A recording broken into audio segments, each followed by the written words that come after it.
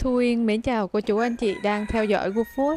Hôm nay thì Thu Yên lại có mặt ở Long An để thăm lại một người à, nhạc sĩ là nhạc sĩ Hoàng Tài.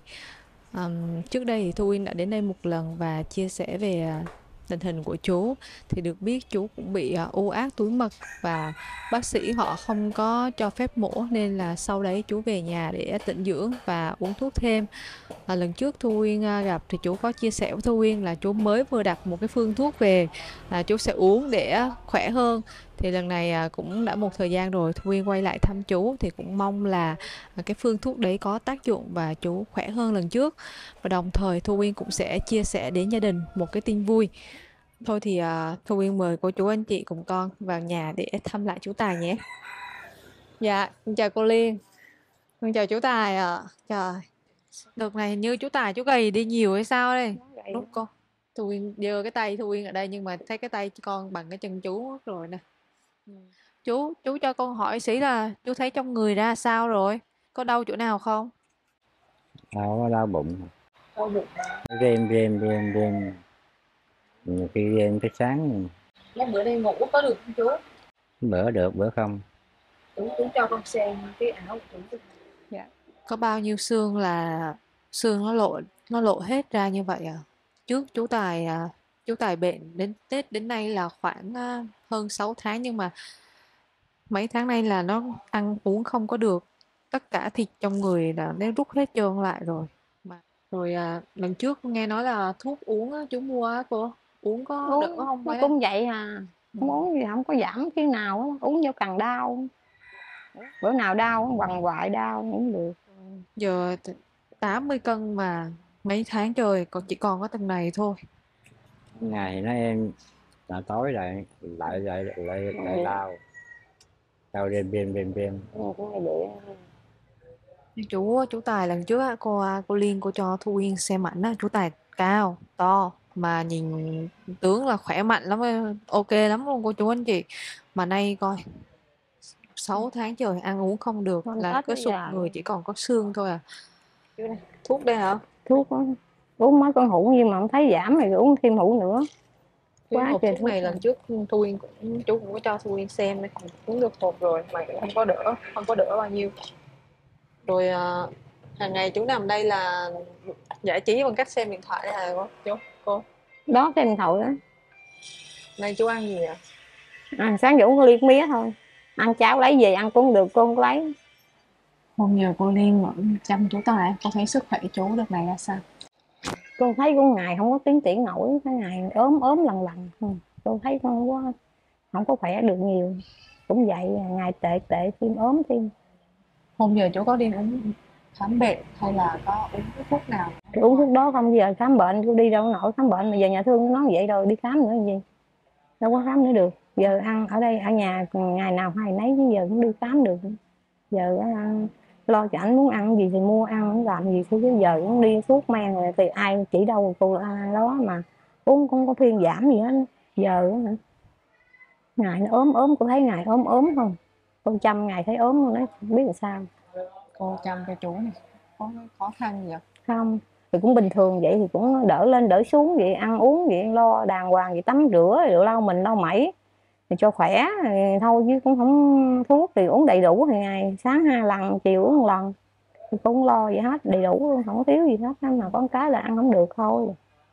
Ăn gì cũng được hết đó Từ cái hôm mà Uyên đến thăm à, chú Tài và cô Liên thì à, như nhớ Thu Uyên nhớ là hình như chỉ có mình cô Liên chăm cho chú thôi à. ừ. Thì bữa giờ có ai phụ cô hoặc là con cháu à, họ hàng tới thăm chú không? không, không có ai hết á Mấy người con cũng sao? có luôn con không có gọi điện thoại thăm gì hết á tại vì nghèo quá lo làm ăn cũng không có gọi gì hết mà không biết làm sao tôi cũng có liên lạc được bình thường trước đây là khi chú còn khỏe thì là những người con mình có hay à, tới đây thăm rồi không có tới thăm có ờ, có ảnh đi ờ, đờn tỉnh ghé thăm lâu lâu rồi nó kêu cái gì thì ảnh ghé thôi chứ không có tới lui gì hết mà phụ giúp kinh tế cho cô. Không. thì ờ, cô nói giờ tháng đứa phụ đứa 500 mà tháng có tháng không thì cô thôi khỏi luôn đi. Ừ. như đó cũng không có không có đủ nhưng mà nó có hiếu thì có lòng thì nó gửi nói thôi chứ. Lần nào ông điện nhắc mất công cô không có nhắc nữa hỏi anh thôi khỏi nhắc đi. Nó có thì nó cho không có là thôi cái giờ nó cũng khổ quá à. bây giờ cũng qua đầu tháng mới rồi nè. Thì mình trọ thì phòng này thì đóng sao rồi cho Đây. cô làm gì thêm không? thì cô á hả cũng cũng tiền của cô á, cũng ai cũng hết rồi đó. Giờ bắt đầu hết rồi dần dần hết luôn rồi. Để dành dụm bây giờ anh bệnh xuống cái hết luôn rồi. Giờ cũng ờ, mai mốt cũng hả kiểu nằm dài về thì kiếm công chuyện làm á, gần gần nhà đó phụ vô. Bây giờ làm sao giờ gia đình mình là đây là cái trọ đây. Giờ trước nha trước mình là trước đây mình làm kinh tế thì nó chắc nó sẽ đỡ hơn thì hai chồng làm có tiền dư sức thì cũng dư ra được một triệu hai triệu ăn uống rồi thì còn bỏ đó thì, thì giờ gom gom lại để dành. Giờ bị vậy ấy ra hết rồi. Cô sống cũng mười mấy hai năm rồi đó. Rồi lúc lên trên lên thì còn trẻ đi làm xí nghiệp này xí nghiệp kia dạ. Thì sau này lớn tuổi đi giúp việc còn ở ngoài lâu giờ là ở trọ không có cái nào mình đã có nhà rồi. Không không có nhà lên ở trọ miết luôn đó đó giờ lên ở trọ miết à. làm gì có tiền mua nhà nổi. Đi làm việc ờ, người ta tháng năm sáu triệu sao có nhà nổi. Ừ, bây giờ là lo lo cho chú rồi à, cũng công việc cũng chú. Cũng đâu có đâu có làm được đâu. Ừ. rồi hôm giờ là kinh tế là kinh tế là cạn kiệt hết rồi. cạn kiệt lắm Ừ. giờ cô phải còn còn sao đây vì sao? Phải cũng phải lo chứ không bẻ vợ nhà phải giờ phải kiếm chuyện kiếm thu nhập vô ngày được trăm gặp trăm rưỡi đừng có đóng tiền nhà phụ ăn chứ ăn cũng phụ thuốc men cho cho, cho ảnh nữa. Chứ giờ cũng cũng không biết làm sao. Giả dụ thôi nha. Ví dụ như sắp tới mà chú có bệnh hơn hoặc là cái tình hình nó chuyển biến xấu thì à, cô định sẽ xoay sở ra sao? Thì tới đâu tính tới đó giờ cô cũng chưa biết được nữa. Tới đâu tới? Giờ mình đâu có sẵn đâu mình tính được thì à, trời thì cho tới đâu tới nữa tới đó là tính à. Giờ cô cũng chẳng biết.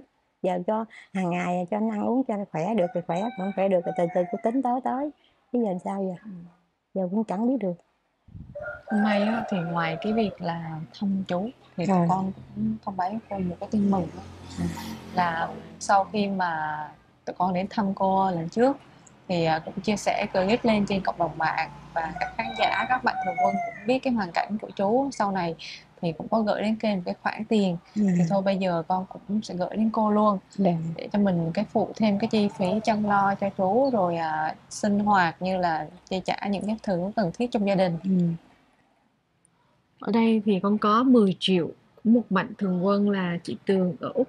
Thì chị Tường có gửi đến kênh và nhờ kênh gửi đến gia đình mình. Thì ở đây có 10 triệu con gửi đến cô luôn ạ. Con gửi cô 1 triệu 2 triệu 3 triệu 4 triệu 5 triệu 6 triệu 7 triệu 8 triệu 9 triệu và 10 triệu. Cảm ơn rất nhiều. Chúc cho chị Tường được nhiều sức khỏe. Dạ. Ờ, Thu Uyên cũng cùng với gia đình gửi lời cảm ơn đến à, cô tôi nghĩ là cô cô Tường ở Úc và chúc cô thật là nhiều sức khỏe và à, con cảm ơn cô đã luôn đồng hành cùng kênh và theo dõi kênh bấy bấy lâu nay con chúc cô thật là nhiều sức khỏe và hạnh phúc bên gia đình ừ. thì qua cái khoản tiền này cô cất cái cô hai Ờ. rồi có những chi phí trong nhà rồi dùng hay là gì đấy thì mình chi tiêu Ờ. cái phòng này rộng rãi qua rộng rãi tháng nhiêu ta hai hai triệu hai tiền điện nước cũng khoảng 3 triệu á Ừ. mà giờ lỡ rồi ở đây giờ dọn đâu giờ của ở đây được lâu chưa ở đây gần cái năm rồi ừ. Này, để cho chú ở thoải mái đi. Ừ, tới đâu tính đó chứ giờ dọn vô phòng trọ chặt quá ở không được. Tại bệnh á. Dạ. Chứ không bệnh là cô, cô cũng, cũng hả khó khăn là cô chọn vô chọn vô phòng nhỏ ở. Tại chú bệnh giờ thôi lỡ rồi. Để chú nằm đây thì nào tính tới đâu tính đó. Chứ giờ chuyển vô phòng phòng nhỏ quá chú ngọt ngạt lắm. Bệnh này đâu phải như bệnh bệnh kia đâu. Dạ. Trong cho rộng rãi thoáng mát là ở vậy nó khỏe. Ừ. ừ. không. Bây giờ à, theo như là như cô quan sát chú bệnh nè, chú có hay tâm sự gì với cô hay là có nói gì không? nhiều khi chú á, mệt quá chú cũng nói thôi à. Ờ, số vậy thôi chết đâu chết cho rồi đi cho nó khỏe để đau đớn mệt lắm. Chú cũng than thở hoài cô nói à, đang ăn ngủ con nói thôi anh ráng đi. Rồi tới đâu tới chứ giờ nói vậy làm chi? Cô cũng ráng nói vậy thôi đi. Ừ, đời mà đâu đâu biết được thôi anh, anh cứ nằm đây đi tới đâu tới đừng có nói vậy. Cô chứ cô cũng kêu chú vậy đó. Rồi giờ đâu có trị đâu được đâu. Giờ bệnh vậy mà đi trị gì giai đoạn cuối rồi nó trị được. Kiểu như là mình à, cố gắng được à, hôm nào thì mình cố ở lại với gia đình qua. Ừ. bên anh chị em của chú có đông không cô? Mấy con à, mấy chú á, chú con mình à. Con một mình thôi. chú con nuôi mà bà già chết rồi chú có mình thôi. Mà con thì nó nghèo quá đâu có nào có mấy đứa con nghèo lắm thôi kệ để với mằng ăn sống với nó còn dài dài nữa chú ở đây thôi cô lo được cô lo khi nào mà lo hết sể thì cô mới kêu gọi nó thì thôi để cho nó làm nó kiếm tiền đi chứ giờ nó khổ quá mà sao mình nó giúp được mình Dạ. ừ. để chi nó giàu nó lo mình thì mình trách nó nó còn nghèo mình nữa Ừ, cô Ừ. chú mình cô chú đến với nhau là mình chấp nối là lúc đấy cô nhiêu tuổi ta? bốn mấy rồi bốn mấy bốn hai bốn ba tuổi rồi cũng cần 50 thì còn nữa ừ. mà thôi giờ kệ ráng đi có cũng chúng cũng đâu có còn nhiều thời gian của chúng nữa đâu thôi kệ lo ngày nào được thôi lo cho tình nghĩa vợ chồng nó nó nó mới xứng đáng chứ để cô bỏ anh thì sao thôi ráng đi có mắm ăn mắm có muối ăn muối ok nó đi Rồi thôi cô cũng vậy đó, cô cũng, cũng ngoài lòng của nguyện vậy đó. Năm bốn mươi mấy là cô là cô là một chú là có vợ trước rồi nhưng mà cô có gia đình trước không hay là à, quen chú là quen đầu chú tiên? lên đây quen chú đó nhưng mà ở dưới cũng có bồ có mẹ mèo có mỡ ở quê. Cũng có chứ phải không mà lên đây thì có mình hà thì quen chú rồi thôi giờ vậy thôi kệ đi. Ừ, cuộc đời nó vậy nó vậy giờ sao giờ? Nếu xưa quen chú là sao mà cô cô chọn chú mà không phải chọn mấy người khác? đâu biết đâu đi à, lên thành phố đâu biết quen ai sợ lừa gạt đâu dám quen chú thiệt tình quá cô quen. Nhưng chú Tài là chú làm nghệ sĩ trước khi quen cô hay là? Trước rồi chú làm hồi đó mới mười mấy hai mươi tuổi bây giờ luôn á. Chú làm lâu lắm rồi hay là do cô không quen không biết chưa chú đờn nữa đó. Quen chẳng biết tưởng đâu chú đi làm việc làm gì đâu không. Cái chừng sau này biết đờn mới dẫn đi đó. Dẫn đi show này show kia qua Campuchia rồi làm từ thiện rồi đó. Thì qua biển hồ hát cho mấy người Campuchia họ coi đó. Thì Dạ. cô đi theo. Ừ. thì đâu chú cũng dắt cô đi hết á. Đi làm đâu cũng dắt đi từ thiện. Rồi à, rồi đi đờn show đờn đám tiệc rồi đó. Dắt đi mà giờ đám tiệc nó hết rồi. Ít. Nên cô ở nhà cô đi làm. Thì sáng cô đi làm chiều về đi cô đi theo chứ đâu phải đi bỏ bỏ việc như buổi tối là chú có những cái nhà ta nào nhà ờ, đám tên tôi đầy tháng hoặc đám cưới đám dỗ gì đó họ gọi thì thì thì thì, thì chú chở cô đi chơi chú kêu là chở chú Ừ. chở cô đi Ừ. chơi nữa. không có bận biểu gì cô chú chở cô đi vậy đó thì thôi chứ đâu có gì ở trong nhà chú Tài á Thu Yên thấy rất là nhiều cái bằng khen ừ. cái bằng công à, bằng công đức này bằng khen gì đấy có treo ở xung quanh đây chắc là Ừ. tập Thu Yên cũng sẽ đi ra ngoài cho cô chú anh chị à, xem thử ha à, lúc trước thì gia đình mình con thấy nghe cô kể là cũng rất là à, tình cảm rồi hay chợ đi với nhau rồi. À. và sau này khi mà chú bệnh như này này thương lắm. những, những chú thương cô lắm. Chở đi siêu thị rồi chơi rồi về rồi đi rồi lum rồi ra đi đâu cũng chở đi hết á. Giờ bệnh không tết giờ đâu đi đâu. Nhiều khi nhắc rồi ờ, đó đi siêu thị giờ hết đi rồi. Nói vậy thôi. Cô có thấy buồn tủi buồn sao không buồn? Giờ buồn ráng chứ giờ không biết nói ai giờ thì nói nhiều khi tâm sự với mấy bạn ấy hồi đó ta hai đi rồi ông chở rồi ngồi nó ở rồi đó anh chở đi giờ nằm chỗ hết chở đi xe rồi hết này bán hết luôn đâu đi được đâu lấy để xe. Bán hết luôn. Bây giờ bệnh không có tiền bán hết sao để giờ để. Nói chuyện nào anh khỏe đi có tiền mua lại. Cô cô À. ăn chú vậy à? nào khỏe đi kiếm tiền mua lại mua sắt rồi chạy nó chơi nói vậy cho mừng. Chứ giờ sao giờ nói cho ông khỏe lên chứ có đâu mua. Chừng miễn yêu cầu khỏe lại được rồi. Nói vậy cho mừng thôi chứ cũng chẳng có được cái gì đâu. Thôi bây giờ con nói thôi giờ anh anh muốn gì anh ăn gì anh thèm gì anh, anh mua cho. Bây giờ không biết anh ăn gì anh ăn gì đâu? Có không đòi mua thịt luộc ăn á đem về dọn ra thấy cầm đũa ngon lành lắm. Nó hồi ăn già vô một cái bỏ xuống liền. Chú chú bệnh đó. Ờ tình em á tính tình chú nó có lúc có thèm rồi đúng Ờ. không? Nhưng mà lúc mà bệnh những cái lúc này lúc mà đau đớn khó á, chịu? Chú lúc đau đớn á là nói thôi chết cho rồi đi. Người có số chết cho rồi đi chứ để đau đớn về chịu không nổi luôn. Mới nói thì tối nữa trời ơi nói cái- ngồi gì ờ, ngồi cô bóp chân cô nó ráng đi chứ ờ, nói tới gì đâu nói bậy bạ không à. Chú Tài, sao cô cô kể chú là tối ngủ rồi đau ốm mà không có muốn không muốn tiếp tục nữa sống nữa hả? đau quá chịu không nổi. Ừ. đau mà thức thức luôn chứ ngủ không được. Mà đau trước khi bắt đầu tới 2 giờ. Bắt đầu mới êm mà. Ngủ được thì em còn không ngủ được thì nó đau vậy đau tới sáng luôn. Không nổi luôn. Ừ. Con nghĩ là cô chăm sóc chú cô cũng rất mong chú có thể là sống khỏe mạnh rồi bình phục rồi à, có thể cùng với cô nè dẫn cô đi à, đi đàn nhà rồi à, buổi tối dẫn cô đi siêu thị rồi nữa. Cô cũng rất là mong chờ chú khỏe lại. Nên là khi mà mình, mình có những cái đau đớn gì á chú nhớ chú nghĩ đến cô ấy chú ha chứ mình nghĩ đến những lúc mình còn à, khỏe mạnh rồi mình có động lực nha chú. Mình à, tâm tinh thần mình nó yếu nó mệt mỏi á thì à, cố gắng cố gắng á chú ha. Dạ như Thu Uyên Thu Uyên cũng biết là khi mà bệnh tới thì à, nhiều lúc mình cái cơ thể mình nó không được như là mình mong muốn mình sẽ có những cái suy nghĩ nó tiêu cực và con cũng đã từng như vậy rồi. Nên là thật sự là Thu Uyên nghe và Thu Uyên rất là hiểu luôn. Nhưng mà à, cái khoảng thời gian này nó cũng sẽ qua thôi và ở bên cạnh mình là có một người vợ luôn luôn ở bên cạnh chăm sóc và động viên.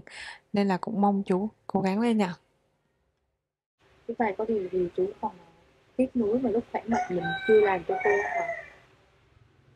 Nói chuyện nữa bây giờ đang bệnh quá rồi nhớ cái bệnh này nếu mà giờ ban ngày thì khỏe nè ít có đau hơn bắt đầu chiều.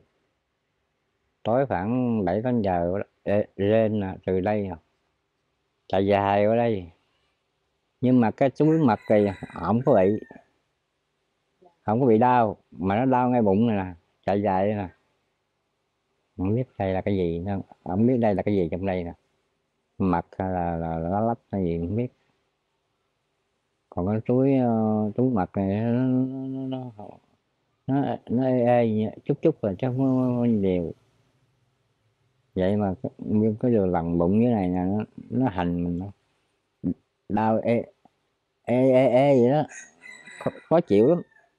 Chứ không phải là nhức chứ chưa có muốn lá đu đủ vô trời ơi nó nó nhức là khác nha. Đau ê ê, là khác nữa. Nó nhức coi như là ngồi dậy hay làm gì nó cũng nhức lên nhức nhức dữ lắm. Nãy con có nói chuyện với cô cô bảo là mấy hôm nay thì những cái uh, chú giấu chú giấu những cái bạn bè những cái người đồng nghiệp của chú à cho biết bệnh hả chú.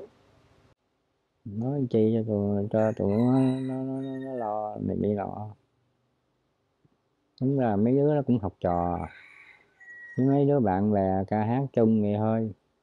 Nhiều khi nói ra nó nó nó, nó lo bắt công. Chẳng thà mình không nói. Nhiều khi nó lên đây nó thăm mày nó thấy vậy thôi chứ mà không nói. Cô mới cho Thu yên xem uh, cái đây là một cái tờ giấy khen của nhạc sĩ Hoàng Tài này giấy khen câu lạc bộ đàn ca tài tử đạt thành tích xuất sắc năm 2019 ngoài ra thì cô cũng cho Thu Uyên xem rất là nhiều những cái đoạn à, clip mà trước chú cũng chia sẻ trên à, như Facebook đồ những cái trang mạng xã hội. Thì trước đây chú đi đàn hát rất là nhiều nhưng mà sau này cái thời gian bệnh cũng không có làm thêm gì được. Tí nữa tụi con chắc cũng thôi chào tạm biệt cô. Tụi con cũng quay lại à, Sài Gòn. Thì con cũng gửi lời à, chúc sức khỏe đến cô và chú thì à, chúc cô chú là chúc chú trước đi chúc chú là khỏe mạnh hơn khỏe hơn rồi ăn uống được đi cho cô cũng đỡ lo rồi à, cô cái gì giữ vững tinh thần chăm chú nha cô ha người thân mình là rất là quan trọng bởi vì là ở bên và động viên mà ừ. cô chúc hai con đi lên à, lên đường à, gặp nhiều may mắn tốt Dạ. đẹp thành công nào cứ theo dõi kênh ủng hộ tụi con cô ha nó theo hoài luôn ngày nào Dạ. cũng bấm hết tôi nào Bây giờ thì còn ít phút cuối, Thu Uyên xin phép tạm biệt cô chú anh chị và hẹn gặp lại cô chú anh chị ở những clip tiếp theo ạ. Dạ.